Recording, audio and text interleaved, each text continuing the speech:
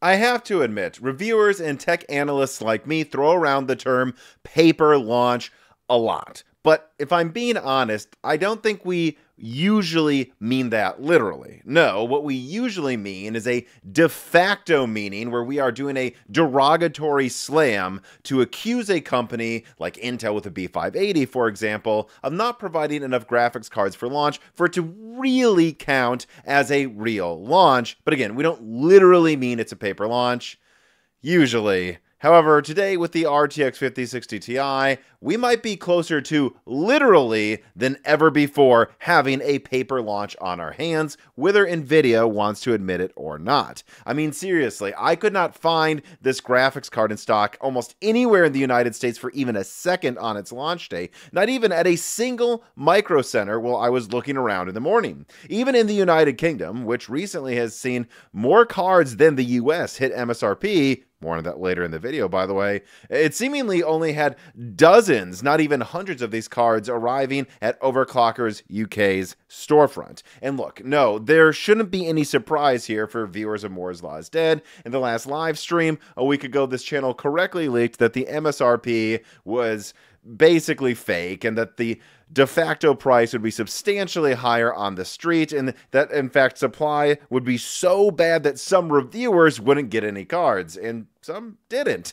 But i have to say that i wasn't prepared for the launch to be as paper as the quotes i'm about to put on screen. Let me put up these testimonials from some of my best sources in retail. So, source number one here, who works for a major online retailer, said that they did not get a single RTX 5060 Ti yet. And we've been told, this is what the person said, that they likely won't have any for a week. Oh, and the initial shipments will include little to no 8 gigabyte supply. And this is as of the morning of today when I'm putting out this video, the 16th of April. And I actually want to drill in on that first source here because, again, I'm not going to say which major online retailer this person works at. But what I will say is I did see this company list at least one 5060 Ti 16 gigabyte on their storefront. And I am told, and this is by one of my best sources in retail, that is really one of my main go tos at this point for reporting on launches, that there wasn't anything in their warehouses. So I don't know if they listed something as sold out that was never actually in stock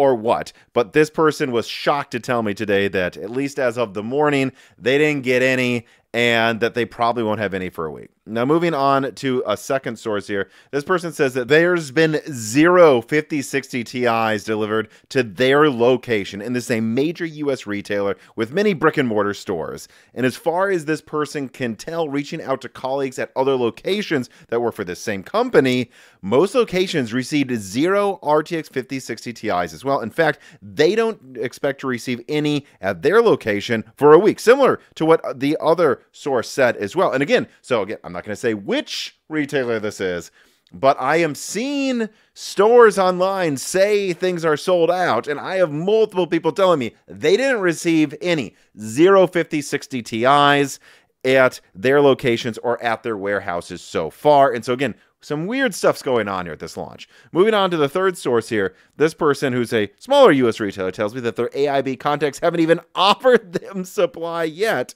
And then the fourth source here, this person says that AMD just pulled the RX 9060 XT marketing materials from their shared ad folder. And then when people at this retailer reached out to AMD for confirmation, they indeed were told that more updates would be provided about the 9060 XT soon, meaning that yes, indeed, it has been somewhat delayed, if you will. And I want to talk about what this means for the graphics card market and round out my opinions on NVIDIA's RTX 5060 Ti, including some startling things I'm noticing about how things are changing between supply that is going to different continents. But first, an ad from a sponsor.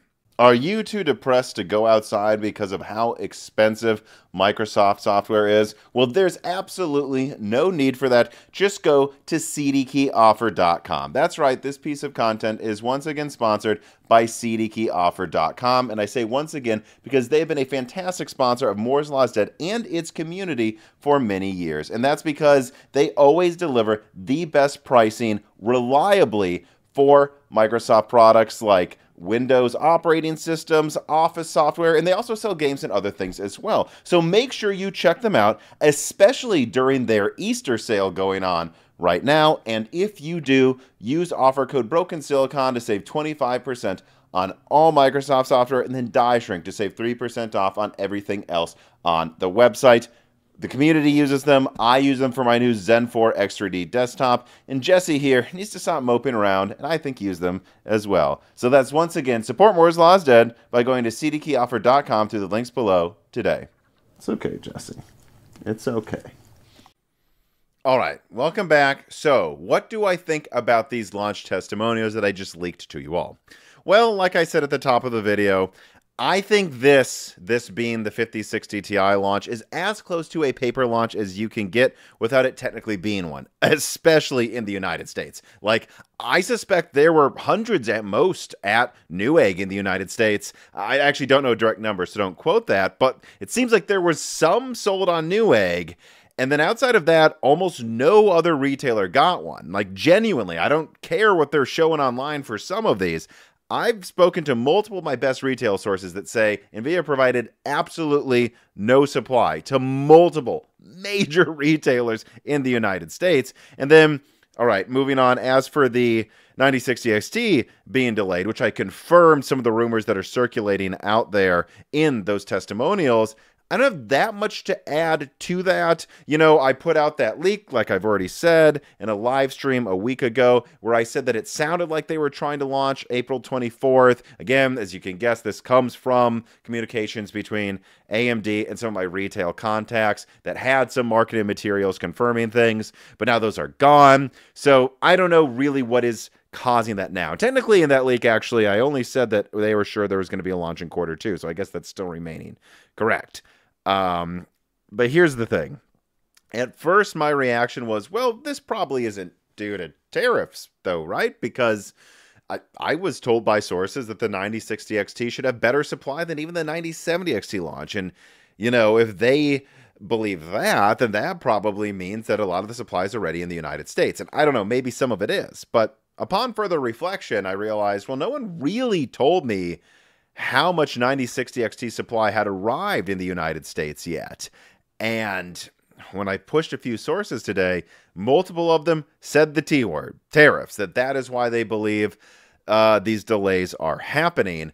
And if that's true, I just got to say that's really sad. I mean, I expected, as I again, as I leaked, that the 9060 XT is going to be a very cost competitive product that should bring solid competition to the low end and mid range graphics markets. But I don't know, maybe just not in the United States. And actually, no joke, when I look at reporting from across the pond, it is starting to look like Europe, although still getting hit with horrible supply by modern standards, they're still getting kind of the typical NVIDIA supply for this generation. Whereas in the United States, for the 5060 Ti launch, seems like the US, for the first time I've ever seen, is getting worse day one supply than what I'm seeing in like the United Kingdom or Germany. And so I really, really actually recommend people listen to the last podcast that came out on this channel where a business attorney with experience in international trade, specifically with disputes between the US and Canada, came on and we broke down why in the short term there may be this deprioritization of shipping products to the US in favor of other regions because this thing that we were warning about, it looks like this might already be happening to a degree with 5060 Ti launch. And by the way, that is a pity because yes, look, when the 5060 Ti is wildly above MSRP, I think that it is an absolute junk offering.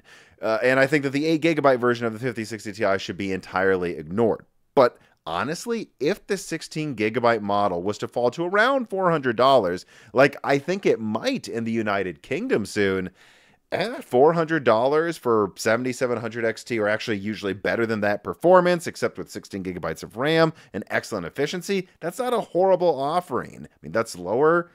A lower that's lower than what you would have paid for a 7700 XT years ago with more performance, lower power consumption and more RAM. If it were to get close to $400, like it seems like it might in parts of Europe eventually, I could see myself recommending it.